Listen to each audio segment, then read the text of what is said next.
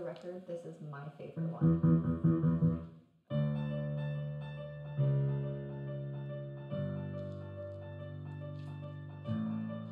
That was like probably seven in the morning after I dreamed. It wasn't seven. It was five thirty in the 5:30 in the morning. morning. Is when you messaged me and was like, "Oh my God, this is what we have to do for the Arts Awards. You're gonna have to make costumes, write a new thing, and I gotta write brand new music." And I was like, "That's so creepy. I love it." Feel like you used me to fill a void inside you, and I fit perfectly for a long time. But I got smaller and the void got bigger, and I wasn't needed anymore. It's almost as if you outgrew what I could do for you. So we're all imaginary. I'm Megan.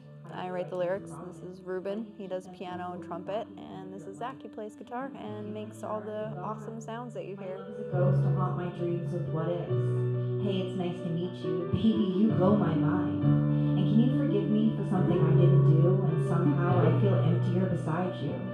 this year it's something completely new to the to the three of us that we get to show everybody else as well so that's interesting